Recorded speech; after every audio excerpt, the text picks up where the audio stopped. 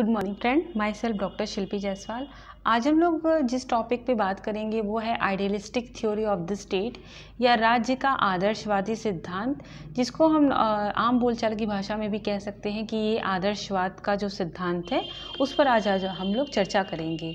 तो सबसे पहले देखिए कि ये जो आइडियलिस्टिक थ्योरी है, ये जो आदर्शवादी सिद्धांत है, इसको और अन्य किन किन नामों से जाना जाता है?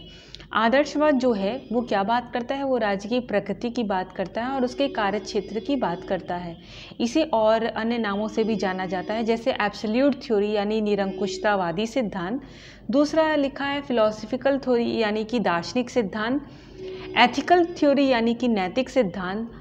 मेटाफिजिकल थ्योरी यानी कि आध्यात्मिक सिद्धांत। और idealistic ethical theory of the state, यानी कि राज्य का आदर्शवादी नैतिक सिद्धांत, इन इन नामों से आदर्शवाद को जाना जाता है। और इसके साथ ही साथ आप कुन जो कुछ अन्य पुस्तकों में देखेंगे तो आदर्शवाद को हिंदी में प्रत्ययवाद के नाम से भी जाना जाता है। तो आदर्शवाद जो है, जो आदर्शवादी सिद्धांत है, उसको इन इन नामों से जाना जाता है। अगर हम बात करें कि इसके जो आइडियलिस्टिक थ्योरी है, उसके जो एक्सपोनेंट हैं, यानी इसके जो प्रतिपादक है, वो कौन है? तो सबसे पहले इसमें नाम आता है इमैनुअल कांट का। Immanuel Kant is regarded as the father of real idealistic theory यानी जो इमैनुअल कांट है, वो आदर्शवादी सिद्धांत के जनक माने जाते हैं। इसके साथ ही साथ जो अन्य विद्वान, जो अन्य, जो फिलोसोफर हैं, जो आइडियलिस्टिक थ्योरी से रिलेट करते हैं वो है Hegel Thomas Hill Green Nietzsche Bosanquet और फिस्टे ये जो महत्वपूर्ण नाम हैं जो कि आइडियलिस्टिक थ्योरी के एक्सपोनेंट हैं। अगर हम बात करें कि basic principle of the idealism यानी कि जो आदर्शवाद है वो आखिर में बेसिकली कहता क्या है? कि ये जो uh, कि जो आदर्शवाद है ये क्या बात करता है? ये बात करता है कि the state is in end the individual is mean यहाँ पर आकर आदर्शवाद को अगर हम एक नॉर्मल भाषा में अगर बात करें कि आदर्शवाद बेसिकली क्या है तो यहाँ पर जो पहला जो है कि राज्य जो है वो साध्य है और व्यक्ति जो है वो साधन है। अगर हम बात करें कि आदर्शवाद बेसिकली क्या बात करता है, इसके क्या प्रिंसिपल है तो अगर हम बात करें कि इमैनुअल कांट की, जिन्होंने जो कि आदर्शवाद यानी कि आइडियलिस्टिक थ्योरी के फादर हैं, आदर्शवाद के जनक हैं उनका ये मानना था कि जो राज्य है, जो उसको अथॉरिटी मिलती है, जो उसको संप्रभुता मिलती है, वो ईश्वर के द्वारा प्रदत्त है। और कांट ये भी बिलीव करते हैं कि व्यक्ति के पास कोई भी अधिकार नहीं है कि वो राज्य के प्रति विरोध कर सके। तो यहाँ पर अगर हम बेसिक प्रिंसिपल की बात करें कि जो आदर्शवादी सिद्धांत है, वो आखिर में बात क्या करता है? आदर्शवादी सिद्धांत किस तरीके के बेसिक प्रिंसिपल की बात करता है?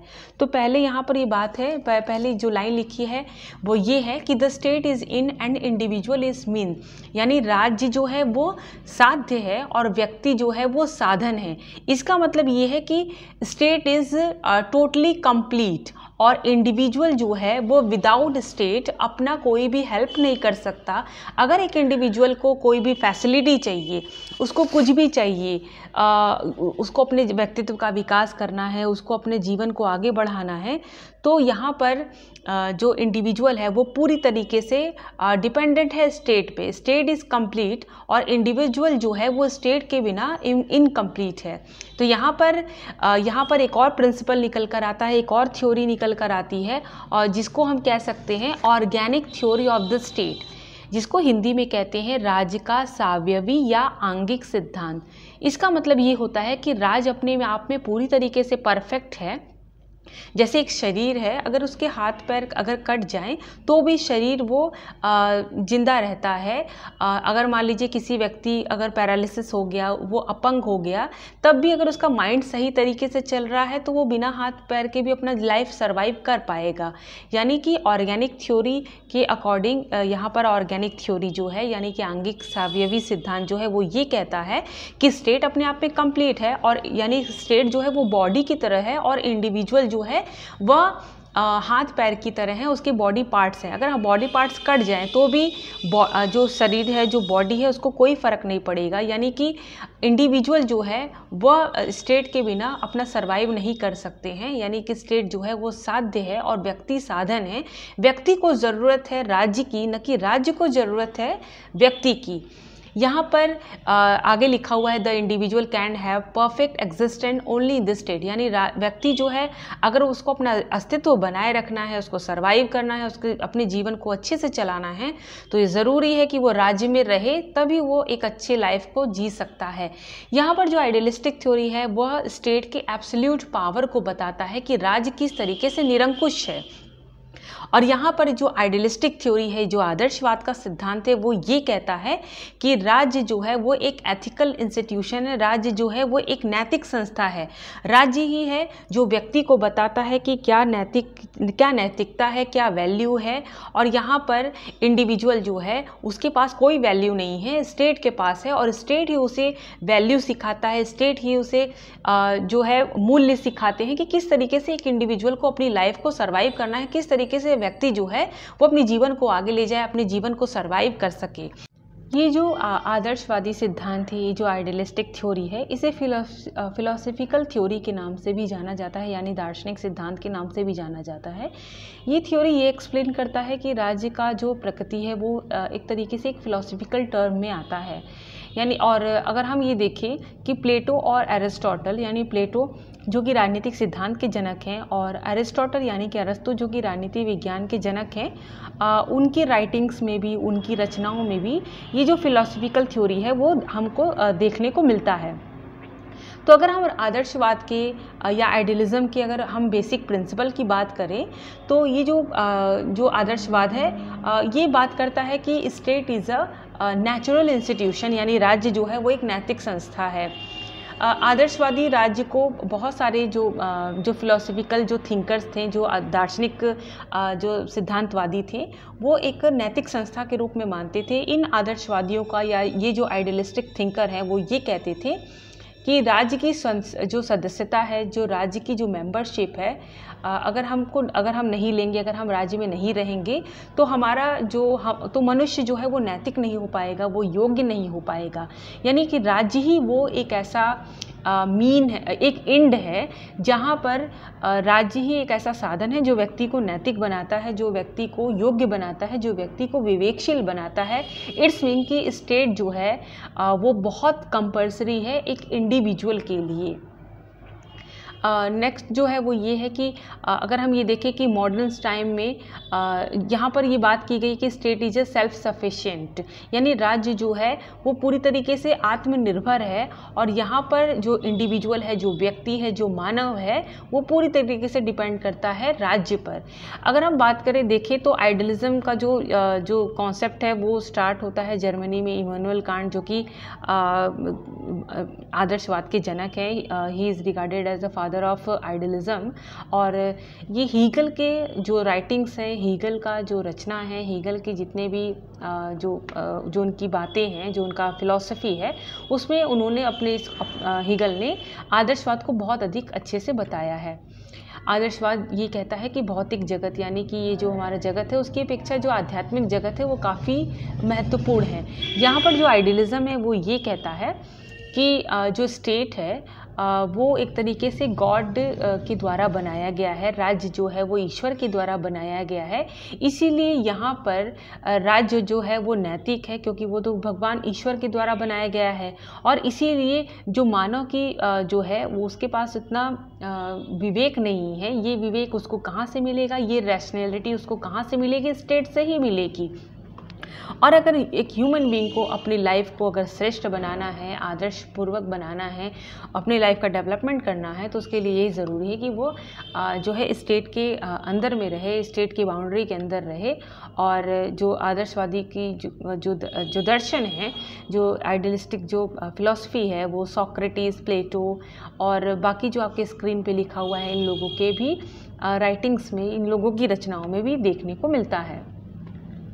प्लेटो जो है वो आत्मा परमात्मा के अस्तित्व को स्वीकार तो करते हैं और परमात्मा की सृष्टि का भी बात करते हैं। और यहाँ पर जो आइडियलिज़म है, वो ये भी कहता है कि राज्य जो है, वो आंतरिक और दृष्टि से बाय से काफ़ी शक्ति शक्तिमान है। यानी state is a very powerful internal and external ये आदर्शवाद या आइडियलिज़म ये कहता है कि राज्य जो है वो सर्वशक्तिमान है। अजर है, अमर है, सर्वाधिकार है और एक तरीके से हम कह सकते हैं कि state is a protector of morality यानी राज्य जो है वो नैतिकता का संरक्षक है। और यहाँ पर व्यक्ति का कर्तव्य यही बन जाता है कि वह राज्य के समस्त आदेशों का, उसके समस्त कानूनों का पालन करे और अंतर्राष्ट्रीय जगत में भी अगर हम देखें तो राज्य की जो शक्ति है वो काफ़ी पावरफुल है। और यहाँ पर जो कि राज्य एक दैवी विचार है कि स्टेट जो है वो गॉड के द्वारा बनाया गया है। इसलिए यहाँ पर सभी व्यक्तियों का, सभी नागरिकों का, सारे इंडिविजुअल की बस ये एक ही ड्यूटी है कि वो स्टेट के ऑर्डर को फॉलो करें। प्लेटो की बहुत प्रसिद्ध पुस्तक है, प्लेटो की एक फ़ेमस बुक है, द रिपब्लिक। उन्होंने भी एक आइडियल रिपब्लिक की बात की, एक आइडियल स्टेट की बात की है।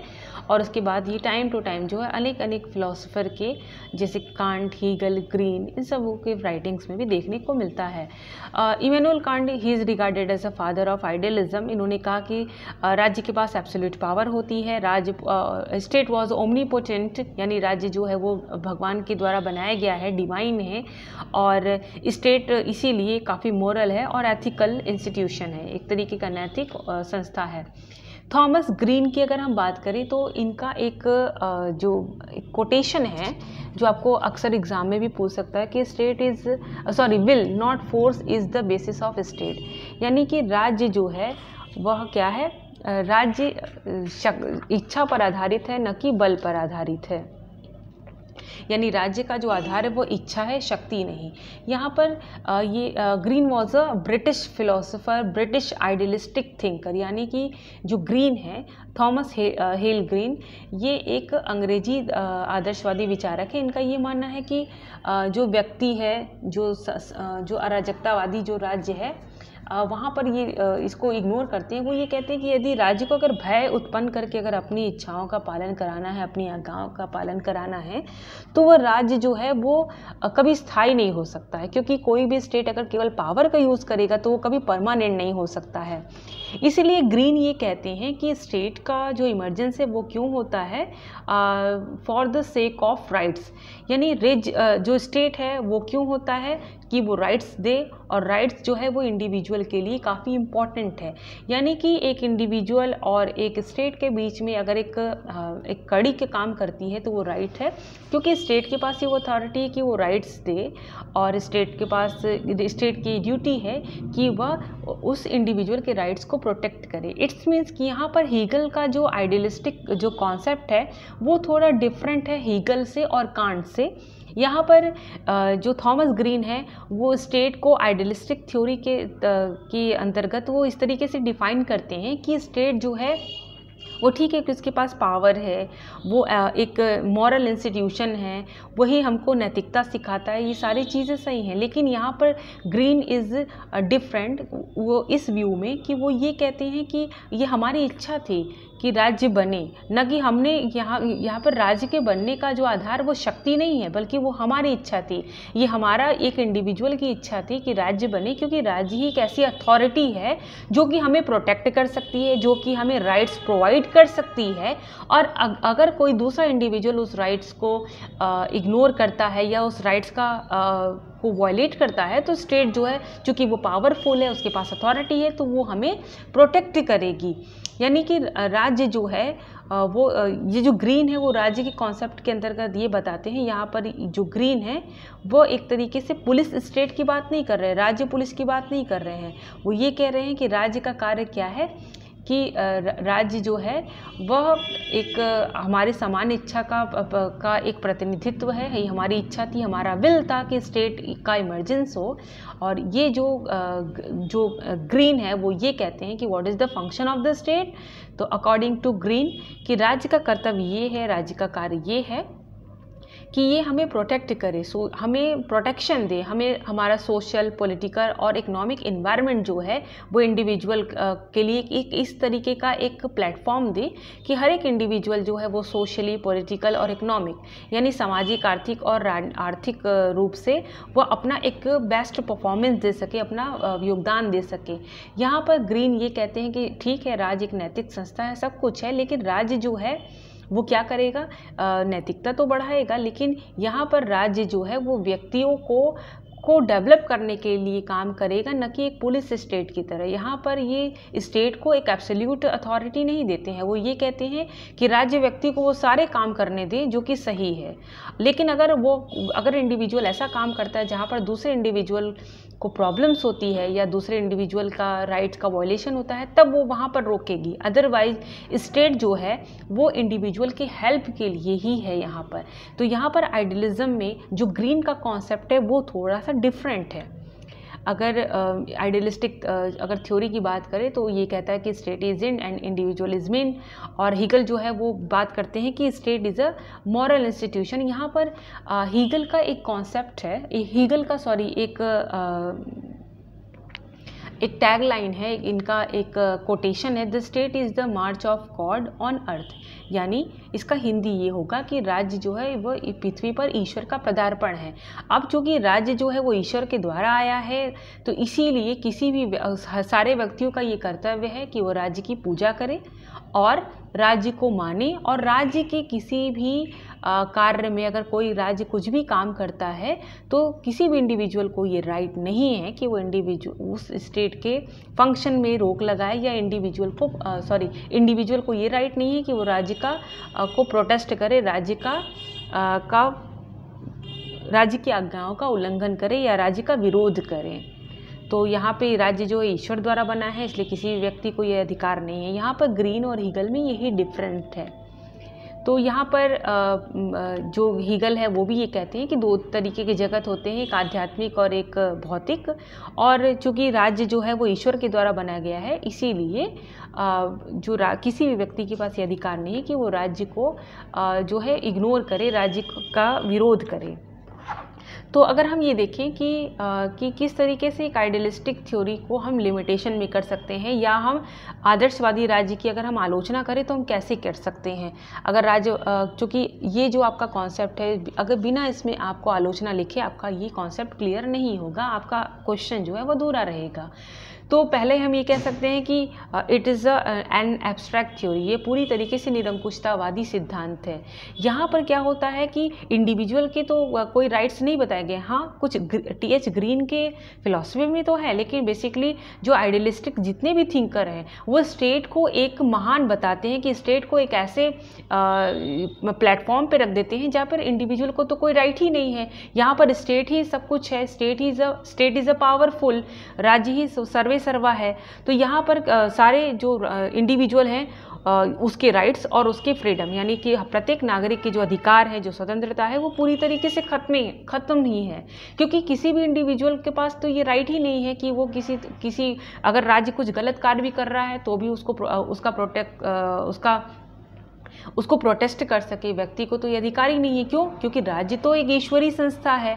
जहाँ पे हीगल का ये कोटेशन है ना कि राज्य पृथ्वी पर ईश्वर का प्रदापण है। The state is a march of God on earth यानी राज्य जो है वो ईश्वर के द्वारा लाया गया हुआ है, इसलिए किसी के पास कोई भी अधिकार नहीं है।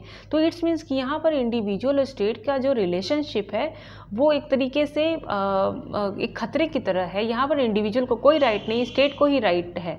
तो यहाँ पर जो व्यक्ति का जो अधिकार है, जो उसकी स्वतंत्रता है वो पूरी तरीके से ख़त्म हो चुका है।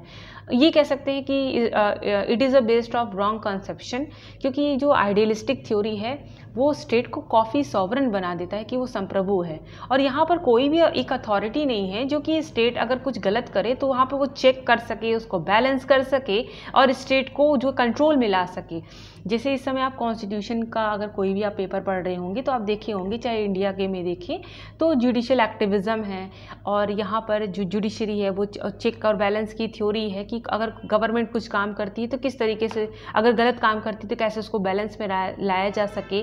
और in India is there is a supremacy of the constitution लेकिन ये जो आइडियलिस्टिक थ्योरी यहाँ पर तो ये बात ही नहीं है।